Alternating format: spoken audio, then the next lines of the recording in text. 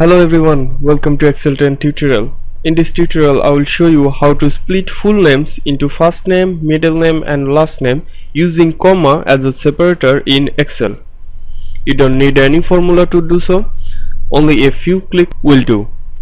I am using Microsoft Excel 2010 for this demonstration. Let's get started. Take a look at the workbook here and in column A I have full name and first name, middle name and last name are separated by comma here okay? Now I'm going to split this full name to first name middle name and last name in different column okay? First select the data range you want to split then click on data then click text to column.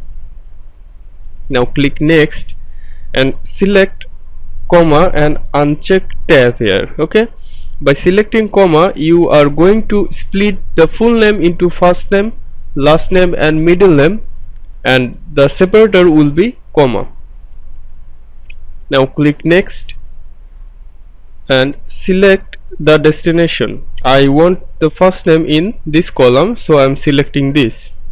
Click here click finish. Click ok.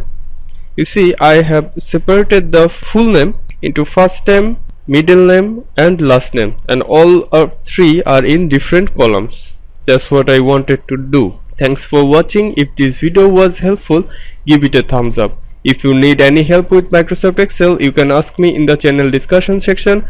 Share this video with your friends and please do subscribe. It means everything to me. This is Kazi signing out from Excel 10 tutorial. Thank you.